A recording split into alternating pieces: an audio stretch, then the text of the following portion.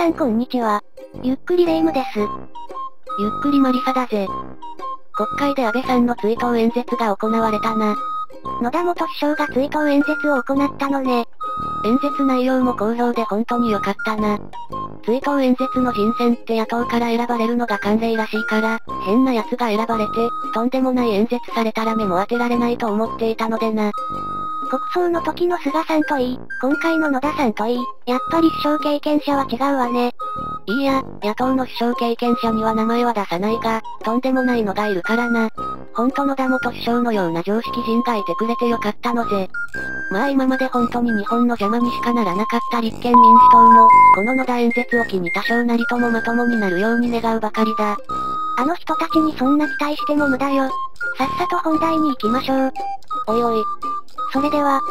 ゆっくりしていってね。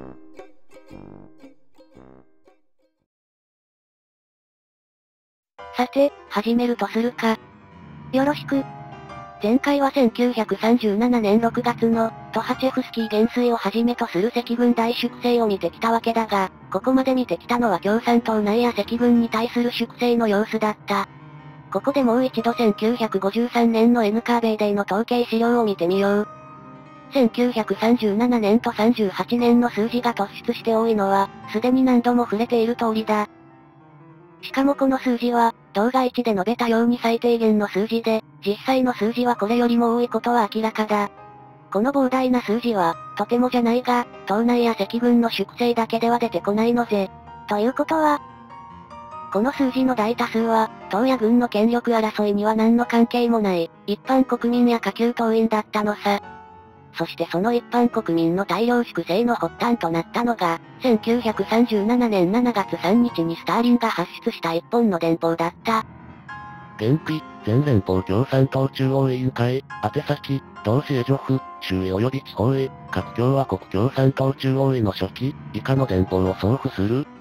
かつて様々な州から北部及びシベリア諸地区ヘルケイされ、刑期満了で元の州へ戻ったクラーク及び刑事犯罪人の大部分が、コルホーズとソフホーズ、並びに運輸と若干の公領部門における妨害活動を含むあらゆる種類の反祖犯罪の先導者となっていることが判明した。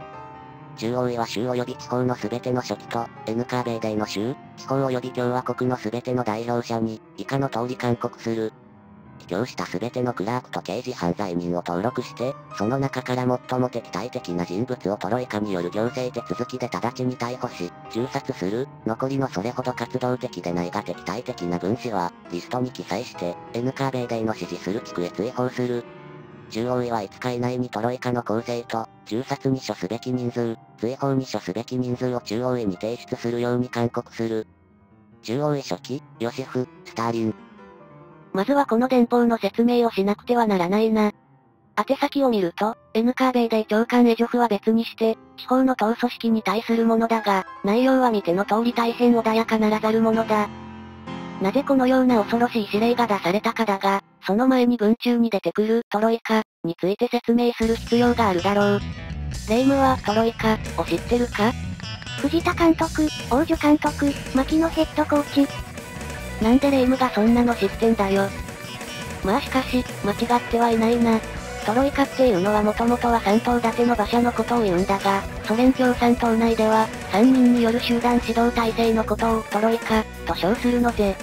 そしてこの電報にあるトロイカとは、それぞれの地域の東大一書記、N カーベイデ地域本部長、担当検察官の3人からなる機関を指すのぜ。このトロイカには通常の法的手続きを省略して、簡易裁判と刑の執行を行う権限が与えられていた。つまり動画1で見た赤色テロ時の秘密警察チェイカーと同じだな。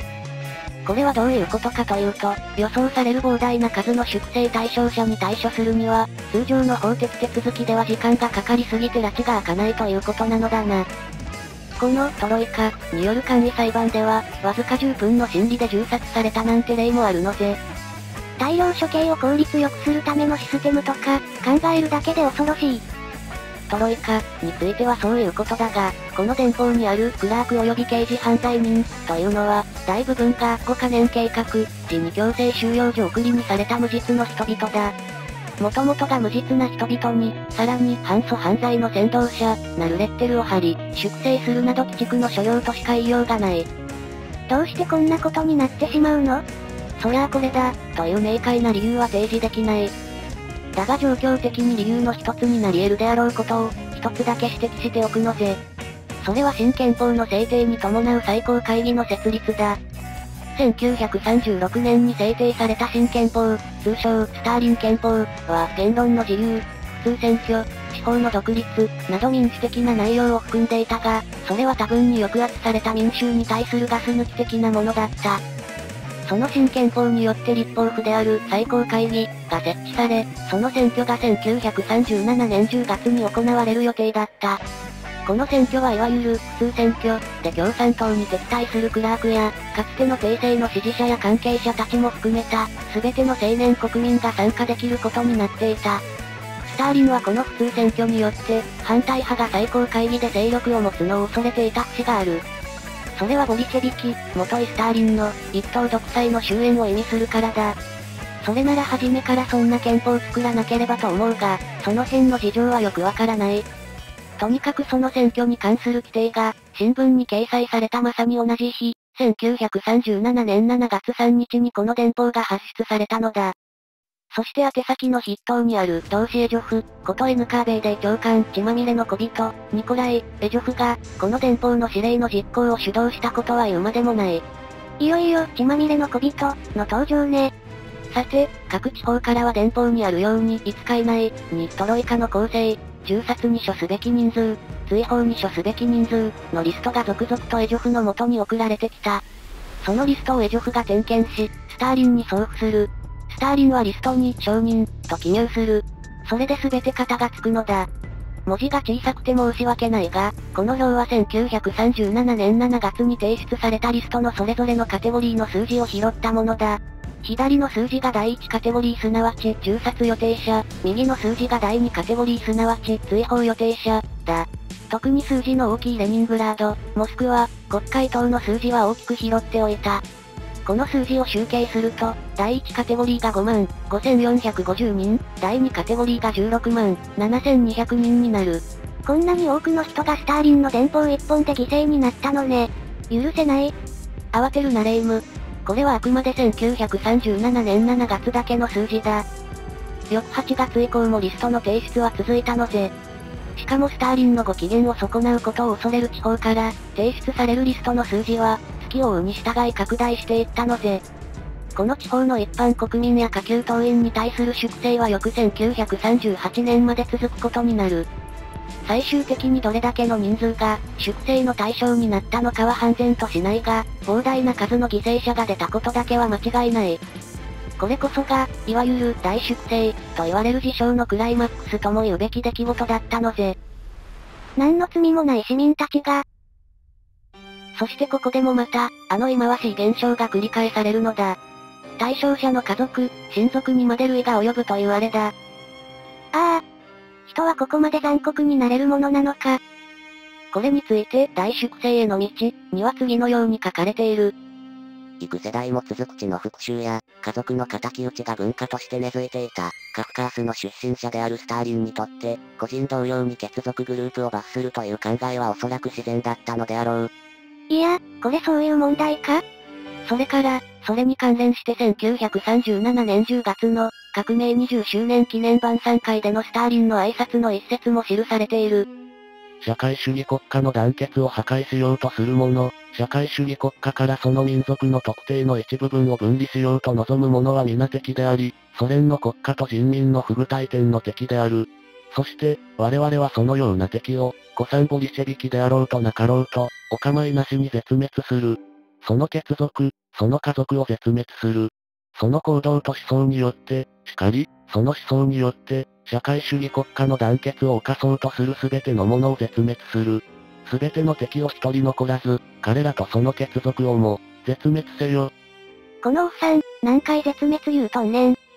まあまあ、これをもって、家族、親族に対する粛清の理由とするには、若干弱い気もするが、とにかく党内に異分子の存在を許さないという、レーニンから続く共産党の党是を端的に言い表した演説とも取れる。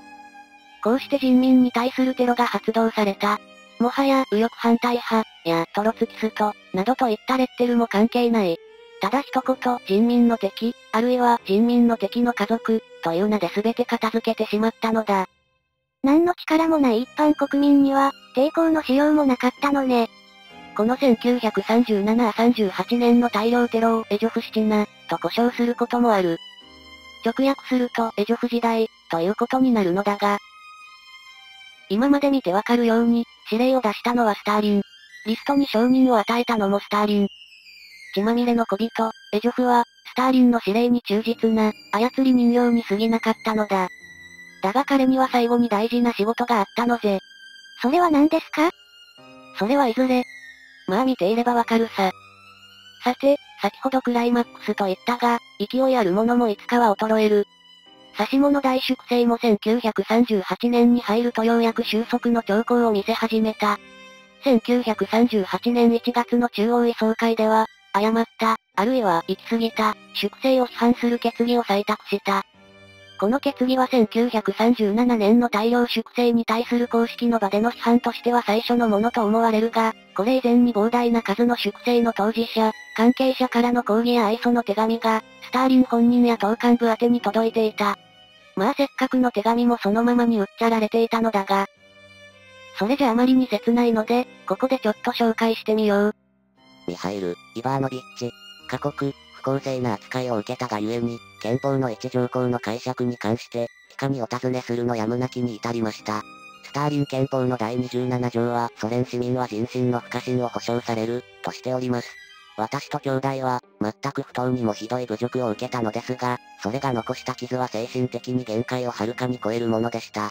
中約、党統制委員会では、私の提出した資料を信用せず、父が中脳経営を所有していたことを証明した資料をも信用してくれませんでした。それどころか、父がクラーク撲滅の対象になったとさえ書き足したのです。父は1913年に死んでいるのに。要するに私は自分が社会的異分思想の出身であることで、党のあらゆるレベルの機関から除名されてしまいました。そこで、以下のことをぜひ知りたいと思います。憲法は私に、ソビエト機構を通じて抽象化の指名の開示を要求し、その人物に抽象の責任を取らせる権利を与えているのでしょうか？ソビエトの法律に従って、抽象化が言いふらしたこの汚点を、私と家族から取り除くことができるでしょうか？私と家族はこの汚点のために、どこへ行っても、不信と警戒と侮辱で迎えられるのです。一体どの程度、本法は私のようなソビエト社会の誠実な市民に対して、個人の地位の安定と人身の不可侵を保障しているのか、知りたいと思います。言い換えれば誠実な市民である私にとって、ソ連市民は人身の不可侵を保障される、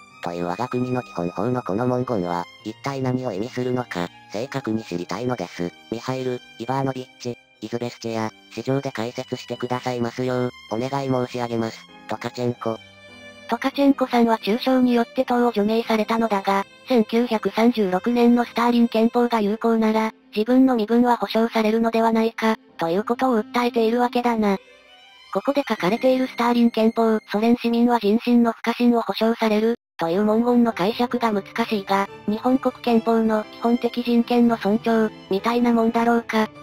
いずれにせよ先ほども書いたように、スターリン憲法自体がガス抜き的に作られたものである以上、恣意的な運用がされるのは避けられないだろう。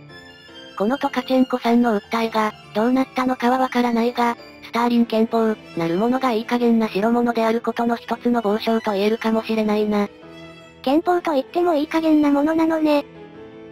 もう一通見てみよう。モスクワ、1937年8月23日。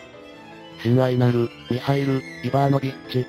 今日、イバンが逮捕されたことを知りました。この悪夢の衝撃から立ち直ることができません。同時に、イバンが党と祖国の裏切り者であるという考えを受け入れることはできません。私の知る彼は常に信頼できるレーニン・スターリン主義者であり、誠実な人間でありました。一体、何が起きたのでしょうか？もしかしたら中傷の犠牲になったのではないでしょうか？そう考えると、落ち着いておれません。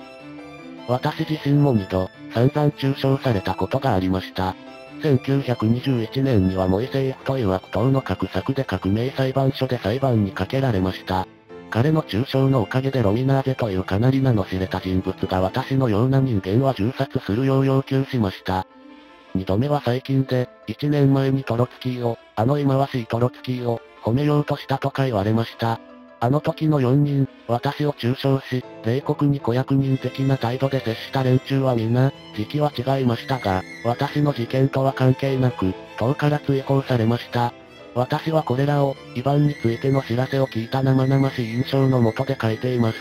親愛なるミハイル、イバーノビッチ、私の両親は、彼が裏切り者だという考えをおいそれと受け入れることはできません。お騒がせして申し訳なく存じます。ブラド、トロフィーモフ。文中で敵対版は、党中央執行委員会書記という有力なポストにいた人物で、一般国民の範疇からは外れるが、この手紙の内容は粛清の典型的な状況を記しているように思われるのぜ。すなわち、文中のイバンが中傷によって逮捕され、筆者のトロフィーモフも過去に中傷され、さらに彼を中傷した者も別件で党から追放されと、こんなことが国全体で起これば国民全体が疑心暗鬼で、中傷や密告が連鎖する負のスパイラルに陥ったということもあっただろう。隣近所の親しい人同士が、密告とかそういう目で監視し合うような感じなのかな。まさに暗黒国家そのものね。まあこの手の手紙が全国から続々と送られたことも、1938年1月の中央位決議が採択された理由の一つではあったろうということだな。ただ、この中央位決議も粛清の沈静化に役立ったかどうかは疑問があった。実際に N カーベイデイの記録を見ても、1938年の数字も高止まりなのは見ての通りだ。この決議も多分にガス抜き的な意味合いが強かったのぜ。それじゃあ意味ないじゃない？まあそれでも党執行部から初めての粛清に対する批判であり、この後の粛清の終焉にある程度の影響を与えたことは否定できないのぜ。ふーん。でもまだ粛清は続くのね。1938年3月、第3次モスクワ裁判が開かれた。これで3回目ね。今回はどんなメンバーですか？今回の主役はブハーリン、ルイコフ、ヤゴーダの3人だ。ああ、例の3人ね。そうだ。この3人が逮捕されてから約1年が経過していた。その間にモスクワの N カーベイデイ本部にあるルベンカ監獄に収監されていた3人に、過酷な審問が行われたのは言うまでもない。法廷に引きずり出された3人は、さながら生ける屍のごとくだったことだろう。結局この第3次モスクワ裁判も全2回と同じ鉄を踏み、3人は銃殺刑の判決を受け、2日後に刑を執行された。野望だはともかく、ブハーリンとルイコフには同情を禁じ得ない。そうだな。ちなみに動画後でゴルバチョフ時代に、大粛清犠牲者の名誉が回復されたことに少し触れたが、野望だだけは名誉回復されなかった。そりゃそうよ、キーロフ暗殺に関与した上に、ジノビエフとカーメネフにその罪をなすりつけてんじゃあね。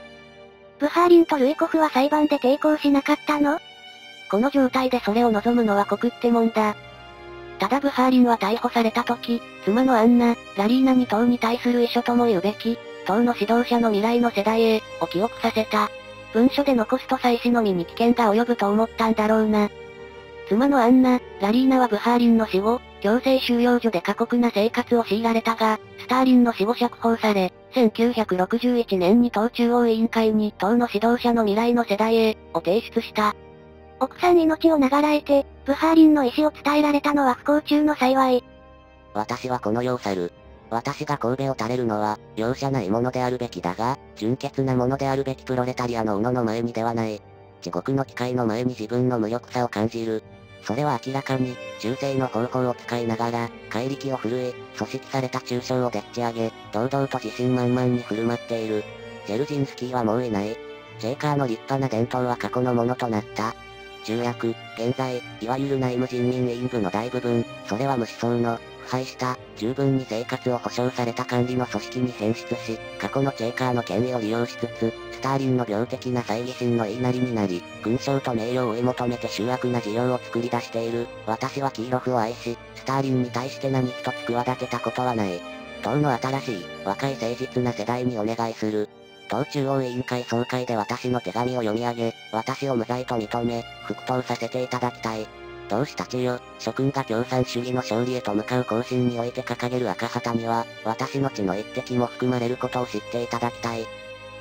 この遺書、何気にすごいわね。スターリン死後にその過ちが批判されることが分かってたかのような内容ね。ブハーリンの願いは、50年後、ゴルバチョフ政権のペレストロイカによって叶えられたのぜ。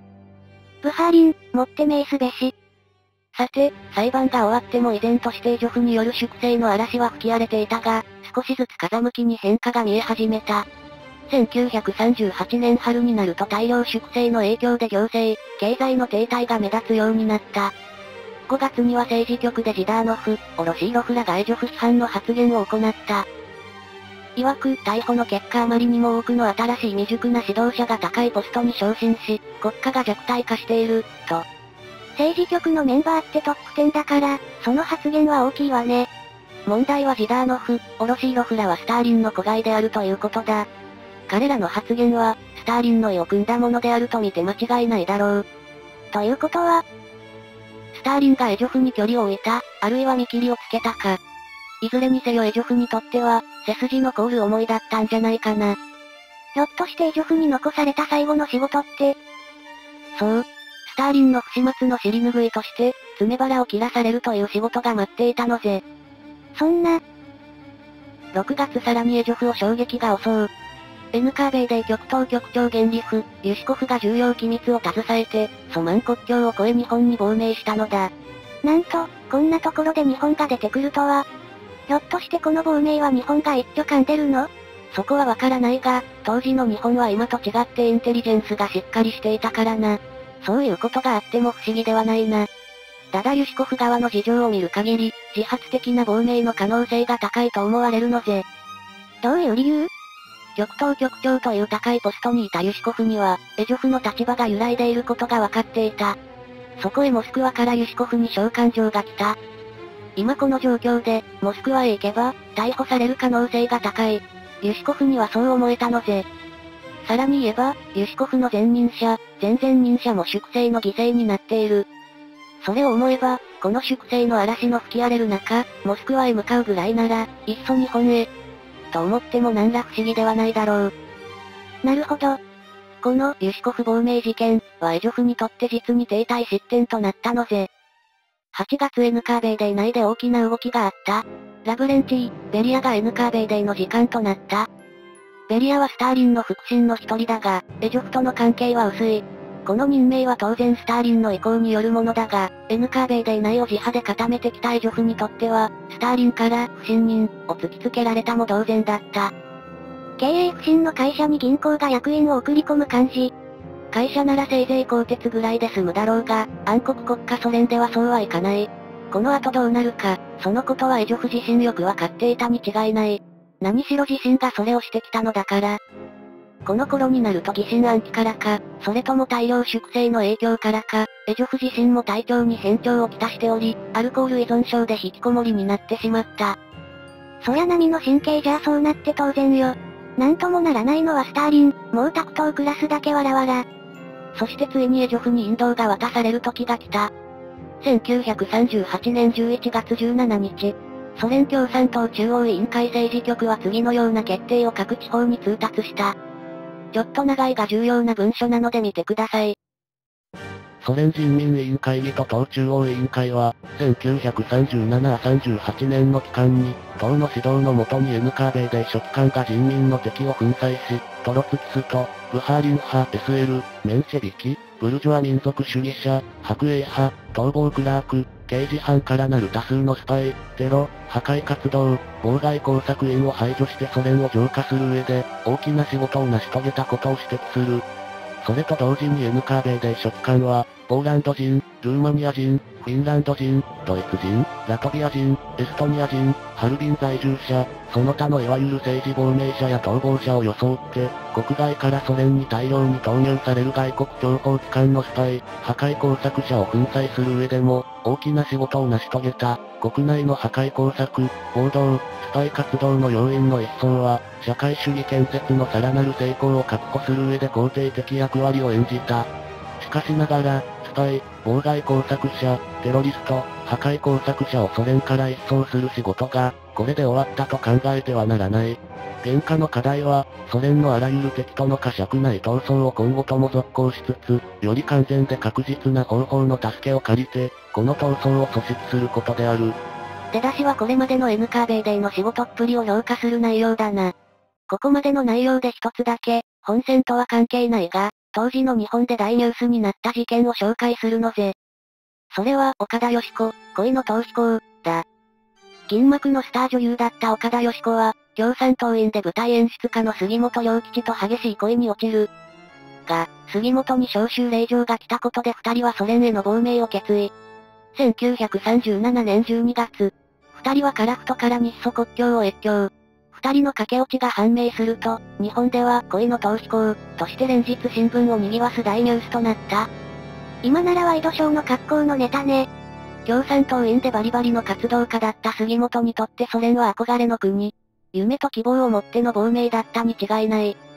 が、現実は二人にとってあまりにも過酷だった。二人はスパイ容疑で逮捕され、杉本は銃殺刑、岡田義子は自由剥奪10年の判決を受けた。この文中にも政治亡命者や逃亡者を装って、とあるが、現実には各国からの亡命者たちは杉本や岡田のように、希望を持ってソ連に入国したに違いないのぜ。そんな亡命者たちを粛清のノルマを達成するためという、自分勝手極まりない理由で無実の罪に陥れるとは、まさに鬼畜の所用としか言いようがない。岡田義子はどうなったの？岡田義子は戦後日本に帰ってきて芸能界に復帰した。ウプ主のやつはたまたま見た、トラさん、に岡田義子がおばあさん役で出演してるのを見て、びっくりしたと同時に演技で見せる品の良い笑顔を見ながら、この人は今ソ連のことをどう思っているのかな、と聞きたい心境になった、と言っていたな。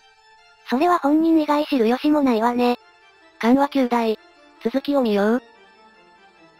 これをますますもって必要としている事情は、次の通りである。すなわち1937-38年に N カーベイデー書記官が実施した敵成分子壊滅、根絶の大量作戦は、取り調べと裁判が粗約に行われたため、N カーベイデー及び検察書記官の活動に一連の極めて重大な欠陥と歪曲をもたらさずにはおかなかった、のみならず、中央でも地方でも N カーベイデー書記官に潜入した人民の敵や外国情報機関のスパイどもは、破壊活動を続行し、あらゆる手段で取り調べと情報収集業務を混乱させようとし、ソ連の法律を故意に歪め、大量の根拠なしの逮捕を行い、その一方で自分の共犯者、とりわけ N カーベイデー機関に潜入した共犯者を壊滅から救おうとした。ここでついに N カーベイデーに対する批判が出てくるのだが、ここでさりげなく重要なことが書かれている。すなわち、N カーベイデーにスパイが大量に潜入しており、そいつらのせいで大量の粛清が行われた、と言っているのぜ。この部分は明らかに中央位と政治局が、大量粛清の責任を N カーベイデーになすりつけるための方便と言わざるを得ない。これまで見てきた通り1937-38年の大量粛清は、スターリンの指令を N カーベイデー長官エジョフが実行したもので、誰かに責任を問うとすればそれはスターリンなのは明らかだ。この文書は以後も長々と続くが、スターリンが最も言いたかったのがこの部分だったろうな。最も言いたいことをさりげなく目立たないように挿入してるあたり、スターリンもちょっとは後ろめたい気持ちがあるのかなうーん。なんとも。まあ続きをどうぞ。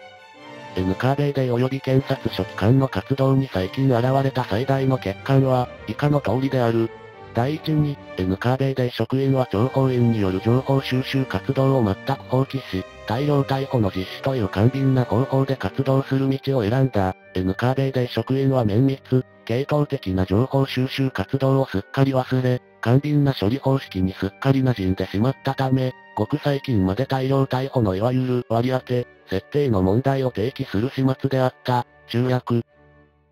検察書記官の側でも、これらの欠陥の除去に必要な措置を講じることなく、捜査に加わり、取り調べ記録を登録し、スタンプを押すだけで事足れりとするのが、通例である。検察書記官は革命的適法性の審判を是正しないばかりか、事実上これらの審判を合法化している。取り調べの実施に対するこのような無責任な態度と、法律に定められた訴訟手続きの乱暴な審判を、しばしば巧妙に利用しているのが、N カーベイデー及び検察書記官に潜入した人民の敵、である。彼らはソ連の法律を故意に歪め、改ざん行為を行い、取り調べ調書を偽造し、些細な理由で、それどころか全く理由もなしに、無実の人々の刑事責任を問い、逮捕し、挑発を目的とする事件をでっち上げる一方で、自分たちの犯罪的反祖活動の共犯者どもを隠匿し、壊滅から救うべく、あらゆる手段を講じてきた、中約。上記の欠陥を断固除去し、NKB で及び検察書記官の活動を叱るべく組織するために、